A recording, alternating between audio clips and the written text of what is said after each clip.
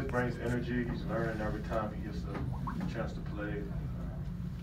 He's smart in the pick and roll. We want him to be more aggressive though. There's a few times tonight in the pick and roll, they tried to do it to him in the pocket, and he kind of hesitated a bit. So we want him to be aggressive going to the rim and making plays, but he's learning and he's making adjustments like each possession, and that's pretty that's pretty rare for a rookie, you know. So he might make a mistake one possession, and then he might do something spectacular the next. So you can, you can just see that he thinks the game, he's learning, and uh, it's only going to make us better.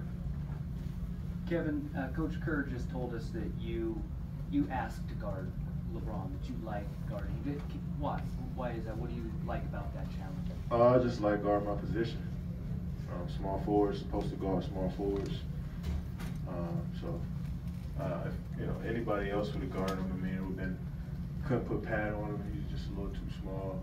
Um, Andre doesn't start, so I guess I was the last guy to just throw on. Uh, but I just like guarding my position.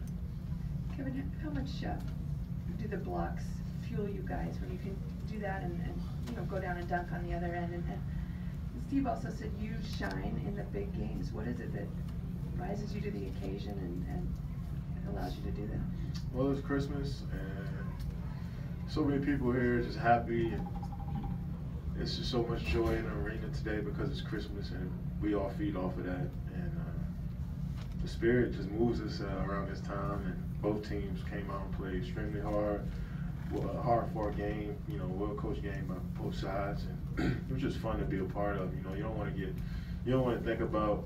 Um, you know, when you think back uh, on the game afterwards, you don't want to say, well, I wasn't involved in this possession, I wasn't mentally well, all the way in on this possession. You just want to just inject yourself into the game and, you know, just play. And I think that's how we all felt com coming into the locker room after the game. We just left it all out there.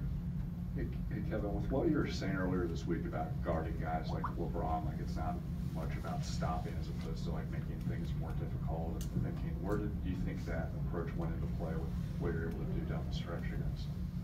Well, you got